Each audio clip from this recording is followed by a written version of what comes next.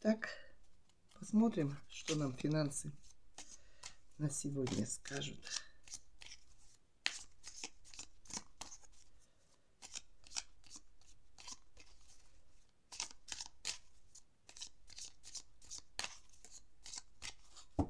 Так, моя ты золотая. Это свечечка. Торопится, скажет, я скоро сгорю, а ты еще сидишь. Так, ладно, мы сейчас сделаем руны... Ой. Франкель наш. Франкель. Мудрость Франкеля говорит. Отвлекитесь от работы, отпустите проблемы. И деньги сами к вам начнут поступать. Вот так вот.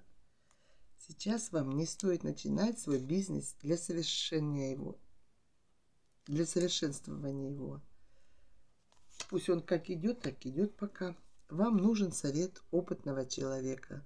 Но советуйтесь всегда, потому что с деньгами не все могут. У кого денег много, с теми советуйтесь. Они знают, как их привлечь. Э, подскажут или нет, это другой вопрос, но они знают. И еще одна карта.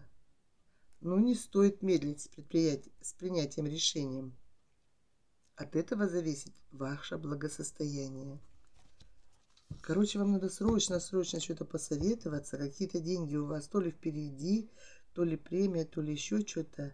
А вы знаете, как советоваться можно? Ну так, одного спросить немножко, как бы он сделал так, не, никак не для себя. Вот это вот прям показывает, что вроде как же посоветоваться, чтобы не сказать, что у меня деньги есть. Ну, с кем-то посидеть, поговорить, куда люди вкладывать, но смотреть, врут или нет обманывают или нет. А то могут сказать, ой, а я туда-то вложился, а я туда... Нет, проверяйте на несколько, несколько раз и у несколько человек спросите.